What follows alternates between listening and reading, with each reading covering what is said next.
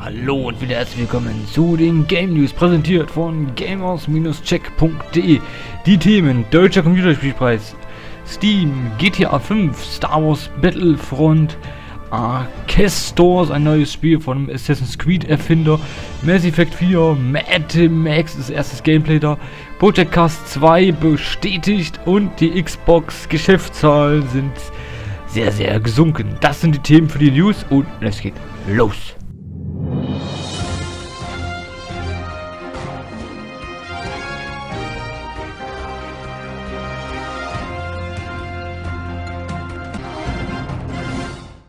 Ja, Deutscher Computerspielpreis 2015 sind jetzt die Gewinner bekannt gegeben worden. Ich werde die jetzt nicht alle vorlesen, ich werde nur ein paar vorlesen, wie zum Beispiel für das beste deutsche Spiel ist Lords of the Fallen. Dann Publikumspreis Dark Souls 2. Was haben wir noch? Bestes Game Design ist The Last Tinker City of Colors. Sehr cooles Spiel. Dann beste Inszenierung auch Lords of the Fallen. Und yo, was haben wir noch? Bestes internationales Multiplayer-Spiel ist Hearthstone oder Hearthstone. Ja, alles weitere könnt ihr dann im Beitrag lesen. Hearthstone, Heroes of Warcraft. So, Steam-Accounts mit geringeren Ausgaben werden beschränkt. Man kennt das ja auch von Steam, dass wenn man nichts gekauft hat, kann man ja nichts machen. Jetzt haben sie es nochmal ein bisschen höher geschraubt. Jetzt ist die auf 5 US-Dollar beschränkt. Also man muss für 5 US-Dollar was gekauft haben, um überhaupt irgendwas machen zu können. Man kann sonst nichts machen. Man kann keine Freundschaftsanfragen versenden, keine Gruppenchats eröffnen, keine Abstimmungen bei Greenlight, den Steam Reviews und den Workshop Items vornehmen. Nicht auf dem Steam-Markt agieren, ähm, nicht regelmäßig an Steam-Diskussionen teilnehmen, keine Profil-Level und keine Trading Cards sammeln, keine Inhalte in den Steam Workshops hochladen, nicht auf die Steam Web API zugreifen und weder den Browser noch den Mobile Chat benutzen. Ja, das heißt, ihr müsst mindestens was für 5 Euro gekauft haben. Äh, Wenn es einem ja so geht, wie es mir damals ging, ja, man wollte halt irgendwie chatten mit den Leuten, die halt Steam haben, weil die halt nichts anderes hatten. Ja, dann hast du halt ein Problem. Du musst dir was kaufen für 5 Euro. Irgendwas, scheißegal. Aber Steam hat das halt gemacht aus dem Grund, weil halt viele so Fake-Accounts gemacht haben und, und von wegen irgendwelchen Spam-Mails verschickt haben und jetzt haben sie dann natürlich so ein Problem, diese Leute. Oder diese Bots, die da angieren. Aber, na gut. GTA 5 PC-Patch 1.02 ähm, 335.1 und zwar ist der Patch jetzt raus. Ja gut, der ist schon eine Woche alt oder so. Und ähm, was etwas anderes ist, das hat eine nicht eine normale äh, Versionsnummer, wie man das so kennt von, von GTA, also von Rockstar, so 1.0, 1.1, 1.2, sondern, sondern halt eine sogenannte Rebug-Version hinten mit dran, 335.1. Und was das behebt, das ist so einiges. Ähm, Player can no longer purchase more vehicles than their... Ah, okay, du kannst jetzt keine Fahrzeuge mehr kaufen, wenn deine Garage voll ist. Ist logisch, ja, ist, ist, ist logisch. Bei den Konsolen ist das schon eine ganze Weile.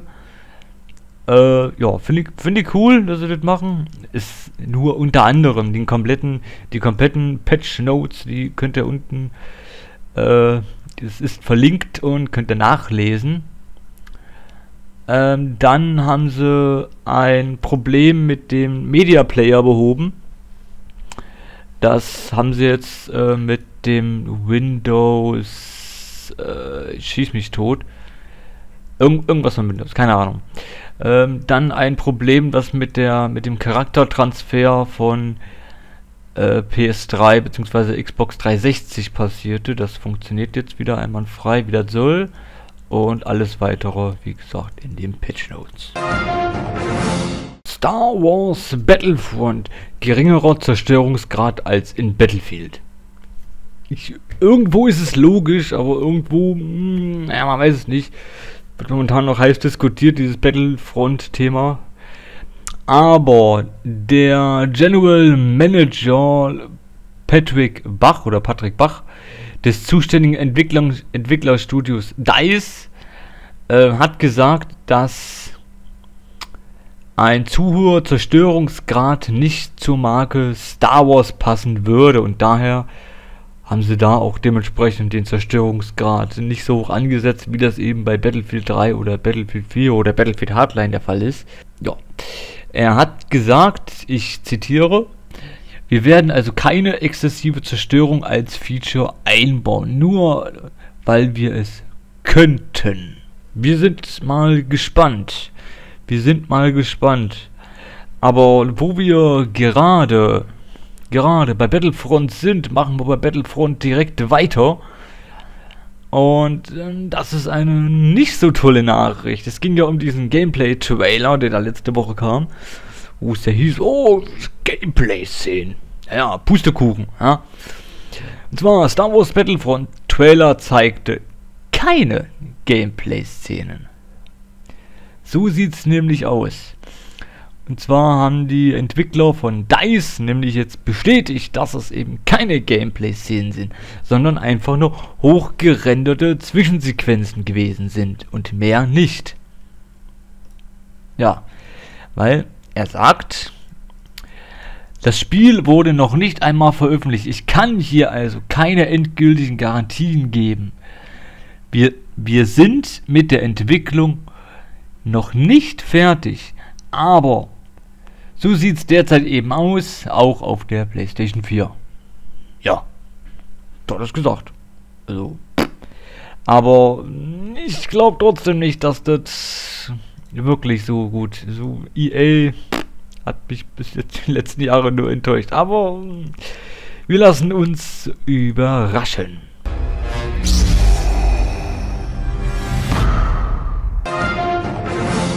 Jetzt wird es nämlich interessant. Asgestos, The Humankind Odyssey. Klingt erstmal ein bisschen komisch. Jedenfalls ist das ein neues Spiel vom Assassin's Creed Erfinder. Und der schimpft sich Patrick Desiles oder so ähnlich.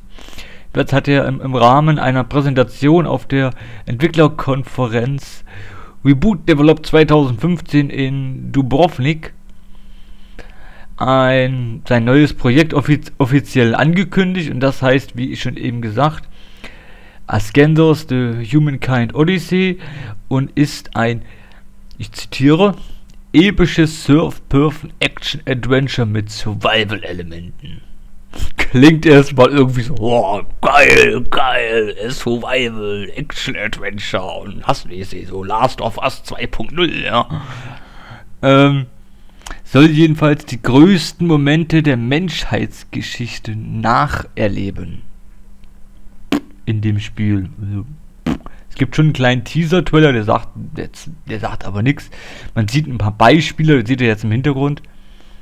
Ähm, aber in dem Spiel geht es halt wie zum Beispiel um die Mondlandung und, und äh, äh, dann den ersten Flug, äh, äh, das Ende des römischen Imperiums und solche Sachen halt. Also ich kann mir darunter gerade überhaupt nichts vorstellen, aber wir lassen uns mal überraschen.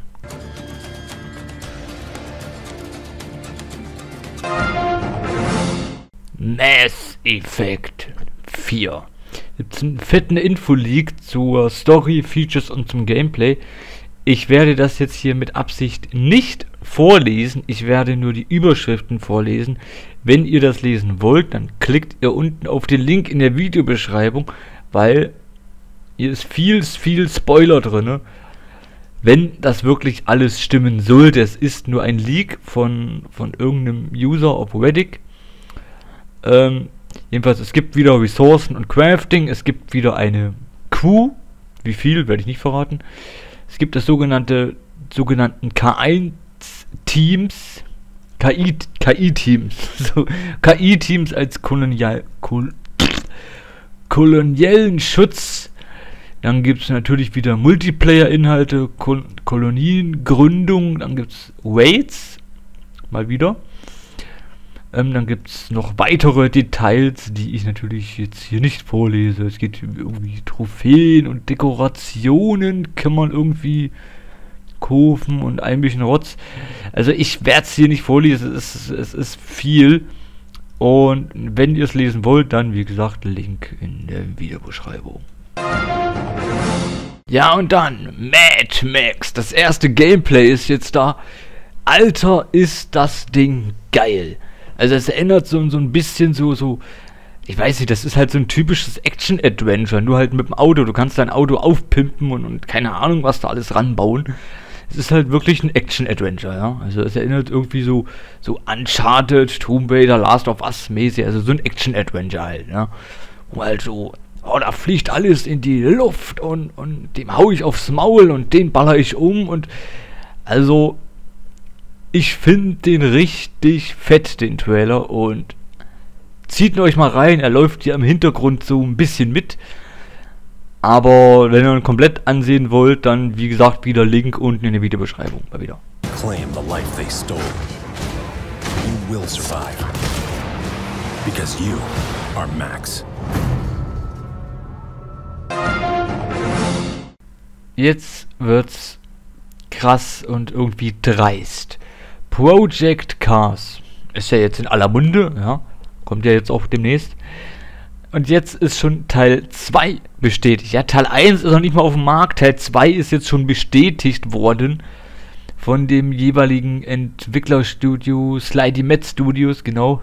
Und zwar, um genauer zu sein, von Ian Bell. Hat er das äh, in einem Interview mit äh, WMD, das ist ein, das ist ein Forum, äh, damit, da hat er sich mit ihm auseinandergesetzt und da hat er halt verraten, dass die halt jetzt schon so viel in, in im Vorhand haben, äh, dass sie schon jetzt an Project Cast 2 arbeiten. Also, es tut mir leid, aber das kann ich nicht nachvollziehen. Warum soll ich mir jetzt den ersten holen, wenn ich doch weiß, oh, der zweite ist ja eh schon in der Mache. Da brauche ich mir den ersten nicht zu holen, ist ja Käse. Also, sorry, das ist.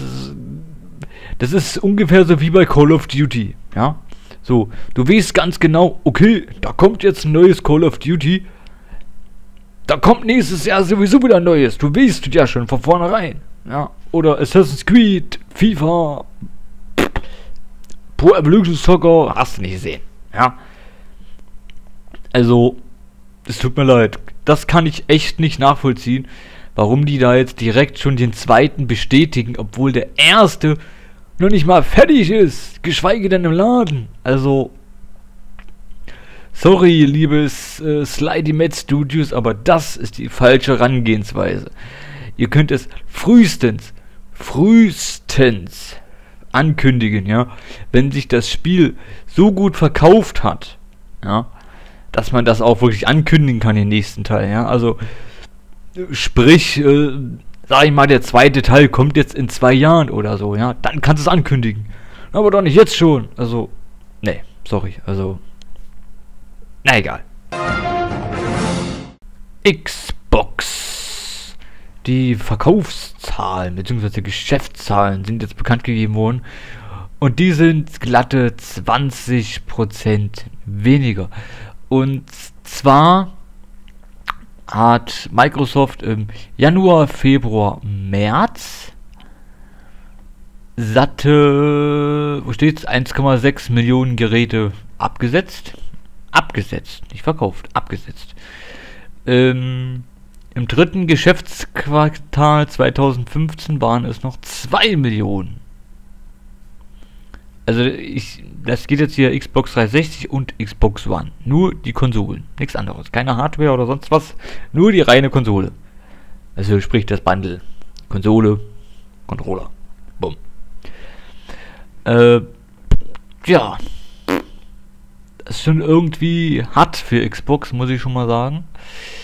Aber ja, so ist das halt mit der Xbox. Die PS4 ist jetzt nun mal da und die PS4, die hat nun mal einen Massen-Megastart hingelegt und ja, die verkauft sich auch besser. Man sieht es ja, ich glaube mittlerweile 20 Millionen oder so, ich weiß es gar nicht. Es ist, ist jedenfalls ein ganzer Arsch voll. Aber nun gut. So, das waren die News. Und ja, über was, über was haben wir geredet? Über den deutschen Computerspielpreis, wer oder was denn gewonnen hat. Über Steam, über diese ja, geringen, geringeren Ausgaben-Accounts, nenne ich sie mal. Dann der GTA 5 PC-Patch, was sich alles verändert hat. Star Wars Battlefront, ja, hm, sehr kontroverse Sachen da. Dann die Sache mit dem äh, Assassin's Creed Erfinder mit seinem neuen Spiel, nenne ich es mal, wo ich mir das vorstellen, kennen wir uns ja jetzt noch nicht wirklich. Dann Mass Effect 4, 4, 4 genau. Mass Effect 4, dieser fette Info-Leak, den ich natürlich nicht vorlesen konnte, weil ich euch nicht spoilern will und mich selber auch nicht. Dann Mad Max, natürlich der fette, fette Gameplay-Trailer. Krasses Ding, zieht euch auf jeden Fall rein. Dann das Podcast 2, schon bestätigt wurde, wo ich mich immer noch aufrege. Und natürlich die Xbox Verkaufszahlen, dass die extrem gesunken sind um 20%. Und naja, was willst du machen, ne? Gut, dann war's das und wir hören uns nächste Woche wieder bei den Game News. In diesem Sinne, tschüss und haut rein.